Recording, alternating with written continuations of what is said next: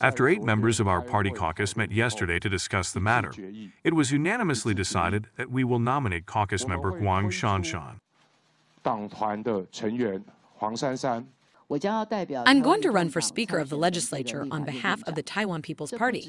This is not just about walking our own path, it's also about leading Taiwanese society to a new path of civicism.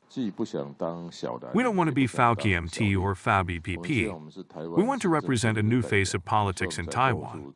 That's why we made this decision. In particular, the top management of the DPP needs to think about how they are going to deal with this issue.